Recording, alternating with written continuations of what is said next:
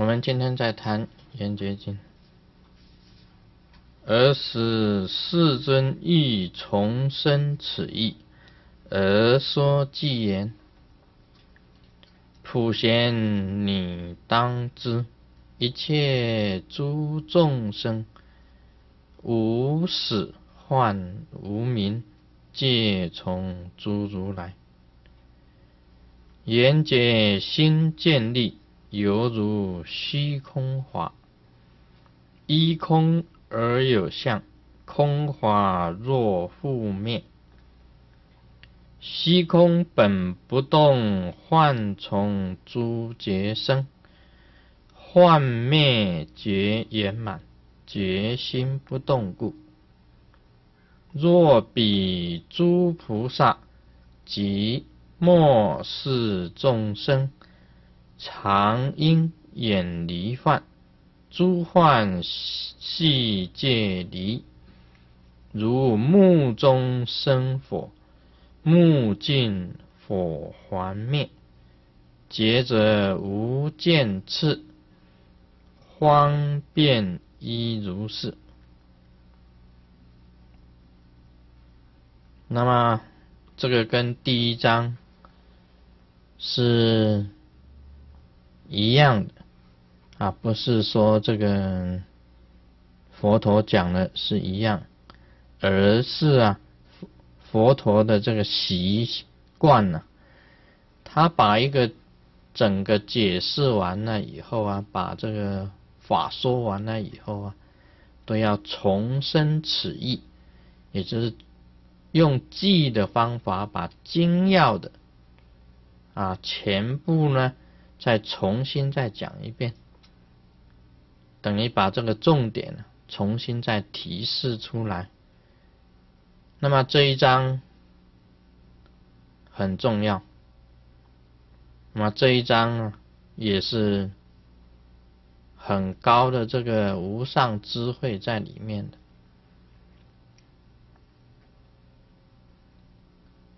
这个佛陀呢？在讲这一章当中啊，他明白的指示出来啊，为什么用幻身、用幻法来修幻行？那这样子有什么意义？另外，修行的人到底是谁？那么，真正能够。啊，修出这个真实意义在哪里？他解答了很多的这个问题，就在这一章里面。我们晓得啊，这个学佛有的时候也会有偏。那么偏呢是什么偏呢？他会偏向某一部分，不能够圆满。在印度啊，它一般来讲起来，有的是偏向于这个智，智就是智慧。很多修行人都偏向于智慧，那么也有很多修行人偏向于慈悲。那这两个啊，我们称为两足尊。佛陀是两足尊。两足尊是什么呢？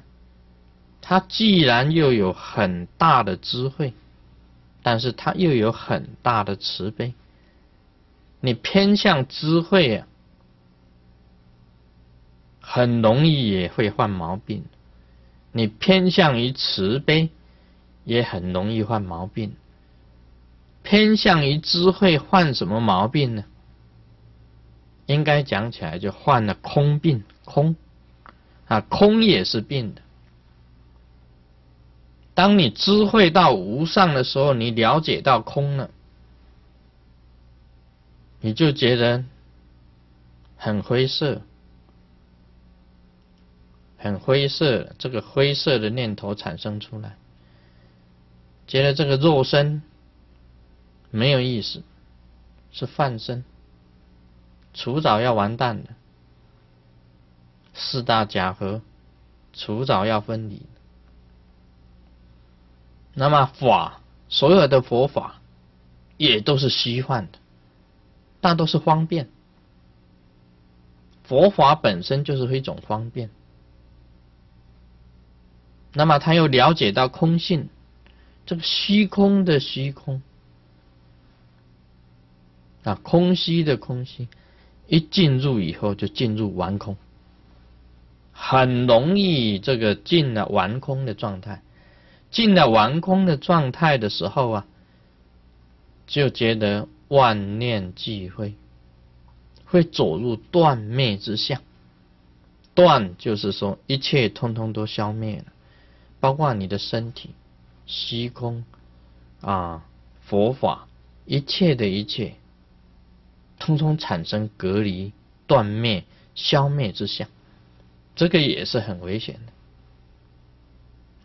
修到最后就变成完空，整个通通都是他认为整个宇宙上下四方，包括自己，完全是虚幻的。那在这当中啊，产生不了一点的乐趣，就变成灰色。那么行者走到这个境界的时候啊，他就会整个通通都消灭掉，进入好像这个太空船呢，进入这个无边的这个黑洞里面一样，什么都没有，无穷无际的这种黑洞。这是追求智慧的人，到最后进入完空的一种结局。啊，就像我们唱歌一样啊，就是无缘的结局，没有什么好说的。这个这个结局也就是没有结局，是结局也是没有结局。这个结局很长，无穷无尽，进入王空，消灭。这个也不好的，这不是好现象。所以佛陀是两足尊，他还要带有一种慈悲。你偏向慈悲也是错的。你知道慈悲是以什么为出发点吗？以众生相为出发点。他就是为了哦，众生太苦了，他要去帮助众生。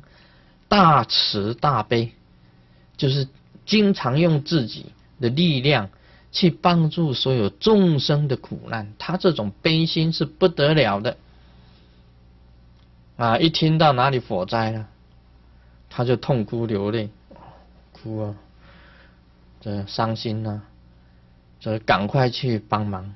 哪里地震呐，他也痛哭啊。这隔壁呀，这死来一个啦。他也哭啊，这个又死又死来一个，他也哭啊。他家人死了，他也哭；别人死了，他也哭。这个就是本身来讲，大慈大悲是有，但是他没有，他有我相，我的相。他慈悲心是由我来出发的，但是他为了众生。就有了众生相，这个很容易入悲魔，进了慈悲的魔，太慈悲了，变成一种悲魔，而没有理智。所以救众生有时候是这样，要掺一点理智下去，不是完全没有理智的，全部这个全部都一切都是施舍，一切都是布施。完全没有理智的，反正看到人家痛苦，他就很悲伤，这个也会进入灰色的，所以会进悲魔。这个太慈悲啊，就是可以讲还有一个我字在当中，还有一个我字在当中，有理智的。太修智的，他容易证空性，但是失去了这个这个悲；但是太慈悲的，不太容易修正空性，因为当中有一个我字跟众生相在里面。这两个都是偏的。所以佛陀本身来讲起来啊，他就是他注重理智，但是他也注重慈悲，这个才叫做两足尊。这两个都他都是重的，所以他很平衡。这个我觉得佛学呀，也是一个这个平衡学。佛学本身就是一个平衡学，所以有什么入中论？入中论就是走在这个中道上，不偏的，不偏两边的，啊，不偏这个北极呀，也不偏这个南极呀，他是走在这个中道上。这个佛学呀，印证这个禅定呢，我们像我们在坐禅打坐。其实就是要入中才能够入三摩地，很简单的。你太紧了，我一定要入三摩地，我一定要入三摩地，我一定要入三摩地。你这样怎么入三摩地？你要松一点呢，对不对？你精神绷得很好，哇，精神很很振作，哇，很这个刚气很足，这个很清醒。很清醒，你入不了三摩地，太清醒了，太刚了，太猛了，没有办法入。为什么？因为你太活泼了嘛，你细胞都在那边活泼嘛，你怎么入三摩地呢？好，我就松一点，这样子，松，穿宽松的衣服，先去洗一个澡，这个啊，轻松一下，然后整个人通通都松了。嗯，就睡着就打呼，啊，这打呼很厉害的。这个每一次我看到我们弟子当中有几个经常只要叫他说这个入山摩地，啊，他就来了，马上钓鱼。这个是太松了，太松了，就整个通通都，哎，这个不是坐忘哦。这是疲倦哦，啊，你松了就是懒散、放逸、松弛，你有没有办法？也没有办法入三摩地，你已经睡着了。所以禅定是在不紧不松之间，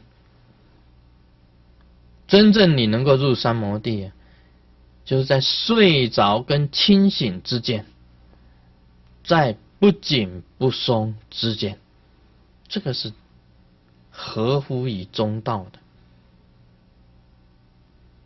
所以我们不要太理智，太理智进入王空，也不要太慈悲，我不能 这样子讲，是慈悲也要加一点理智，或者进入悲魔。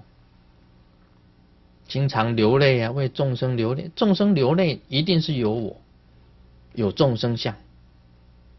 那你完全无我、无人、无众生、无受者，你就进入空，印证空性。那你印证了空性呢？理智上很有，慈悲心不够，进入完空不好的。所以这个佛学。啊，真的是很那个很奥妙的。佛陀在讲啊，二目啊，这个钻木起火，都是两个都是木，但当中生出火。今天呢，佛陀教我们用这个稀饭的佛法，用稀饭的身体去修出。修出这个佛性，这个就是佛陀本身呢，在这一章里面的回答。谁在修行？就是佛在修行。那么用西方的这个佛法，用西方的身体来修，就是为了修出佛性。能够修出佛性的。有很多人讲啊，上次也问了，你的身体既然是假的，佛法也是虚幻的，为什么要修行呢？这个普贤也是这样子问佛陀的，为什么要要我们修行？修行还不是虚幻吗？但是就是因为能够修出佛性，佛性是什么？是无上的智慧啊！我们这个身体有没有用？在密教讲，我们身体是有用；在显教讲，身体是没有用。显教认为这个身体，管他去。密教就要重视这个身体，为什么要重视这个身体呢？其实只有两个意义，你需要重视这个身体。你有了这个身体呀，你才能够去得无上的智慧。因为你身体很健康，啊，身体很圆满，你脑筋很活，一切的这个器官很健全。你记忆力好，理解力好，你读经、写法、修行有精进力，很威猛。你用你这个身体去得无上的智慧，去印证佛性，这个身体才变成有价值。再来，你帮助人家快乐，慈悲，对不对？刚才讲的是啊智慧，现在讲的是慈悲。众生有难生病了，你给他药；他饥饿了，你给他饮食；他没有房子住，你盖房子给他住；你让他得到快乐，让他身体得到快乐，这个是慈悲。这个身体是有价值，给别人快乐，你这个身体才显出你的价值出来。别人得到你的快乐，这个你的身体才显出它的价值出来。啊，今天你这个师尊呢，老是生病，啊，经常感冒、头晕、偏头痛、骨头酸痛，坐又坐不住、气喘，啊，这个斜眼啊，无斜眼如来，啊，斜眼。啊，这个这个鼻子啊，啊鼻窦炎，啊这耳朵耳聋，啊眼睛的这个瞎半瞎了，头发全白了，对不对？反正什么毛病都有就对。你说我还能够坐在这里说法吗？你们看我都看的不顺眼。对不对？这个糟老头全身都是病，浑身发臭，嗯，他还讲什么佛法？我看了都不顺眼。你要说法，也能够叫你不要感冒、不要咳嗽啊，你才能说法。啊，你要每次要说法以前，先来几声下马威啊，啊，先先来，先咳嗽几下，先。大声咳几下，这个把痰吐出来，这个人家都吓跑了。所以，一个法师他精神好，他的体力好，他勇猛精进，他会得到这个，他自然会产生一种大威德之相。啊，讲到大威德，我就讲到今天早上我练金刚拳。啊，今天早上我练金刚拳。这个大这个护法大威德金刚来，哇！他把我带到哪里去？带到这个大洋啊，就海洋的中心。哇！叫我练这个软法，软就是温软之法。温软你们不要会错意哦，嗯，上面温软，三温软。啊，它是软法，就是全身呐。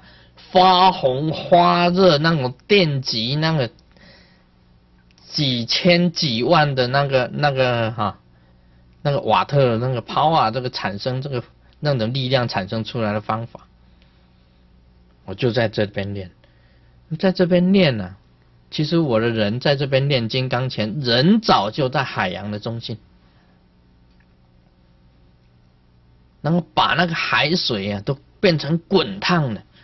然后兴起所有大洋的这个波涛，哇，那个那个海浪啊，这个掀的之高，那海水弄得非常的这个滚烫，啊，正在练得很高兴的时候，突然间这个龙王来，他说我们都热死。我跟龙王是很好的朋友，我怎么可以让这个龙王热死？忙说哦，我马上休息，马上休息。怎样？这个啊，先说嘞啊，我不知道这个一下子在海洋里面呢，念这个软法，居然是大波涛，居然发出这个千万的这个热能出去，这个使这个龙宫啊，都好像在这个。里面的龙王全部都中暑，那是今天早上的事情呐。所以这个护法本身有大威德的力量，那么金刚拳本身所发出来的力量也是无穷、无穷无尽的。有正量的上师啊，他本身可以啊，经常的这个。在练金刚拳之中啊，这个一地唤醒，能够做种种的这一种哈正量的这种现现象出来的。但是在这里，我们也要晓得，虽然我们在练金刚拳是阳刚之气，但是阴柔方面呢，就等于慈悲。也要兼顾到阴柔，你的阳刚之气啊，也不能伤害了慈悲。所以在海洋里面练金刚拳的时候，要顾到龙宫的本身的那些龙主啊，本身的这个好像是说这他们，我们也要慈悲他们啊。应该啊，以后就请这个大维德要练这个，好像是说这样子的软法的金刚拳了。应该带我到北极的冰山去啊！北极的冰山呢，像那个 Superman 一样的啊，他的这个加在那个冰山里面，那个水晶宫里面呢，这样子练才可以。不过也不可以，好像把北极的冰都融化的话，听说这个地整个地球都要淹水，是不是？哎，这样也不好，又搞不清楚应该到哪里去练。佛陀本身讲这个经文，所以要叫你只要有饭，有稀饭了就要离开，要离开稀饭，要远离稀饭。最后呢，单刀直入，你无我相也是很好的。这个无我印，三法印之一的无我印，我讲过用。什么事情用无我印来印的话，你就会得自在，就会得解脱。你说以智慧来讲，无我也是一个很高的智慧。那么无我最容易印证空性了。刚才讲到慈悲，你太慈悲了，用无我印来印也是很好的。你去尽力去行善，去慈悲众生，但是你也是用无我。既然无我，就没有名相，对不对？你既然无我，你就不去求这个名呐，求这个表面上的这些表现呐，你就不求了。那么你心里就很平安。你虽然行慈悲，但是没有名相。这个就是用无我印去印这个慈悲，你用无我呢，既然可以印证空性，但是也可以印证了慈悲，所以你慈悲也不会伤害到自己。那么讲魔，其实魔只要一碰到无我印的话，魔也是虚幻，魔本身也是虚幻的。只有无我应应用出来的话，魔才会变成虚幻。你自己本身已经无我了，魔根本没有办法来害你，无我可复，连魔都变成虚幻了。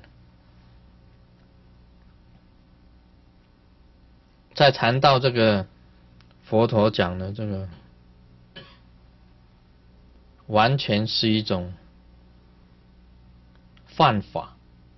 佛法本身是虚幻，你自己的身体也是虚幻，但是以虚幻来修虚幻。我们晓得虚空是虚幻，不能入完空。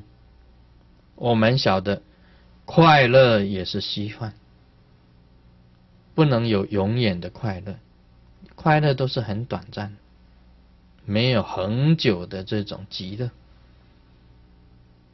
那么，这个虚空本身是空幻的，快乐本身也是空幻的，那二者之间呢，你也要调在中间。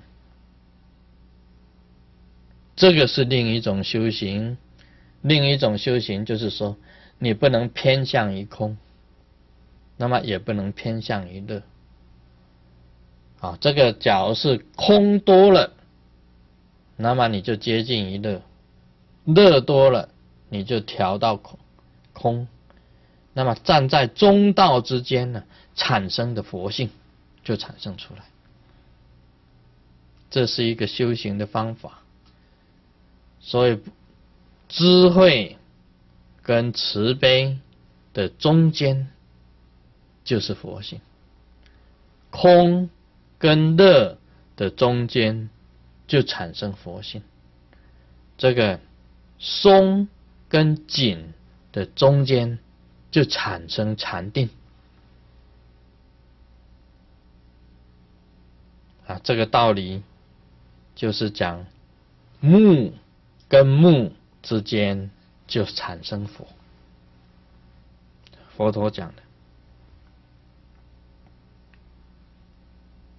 那么像我现在修行，我自己觉得自己很自在。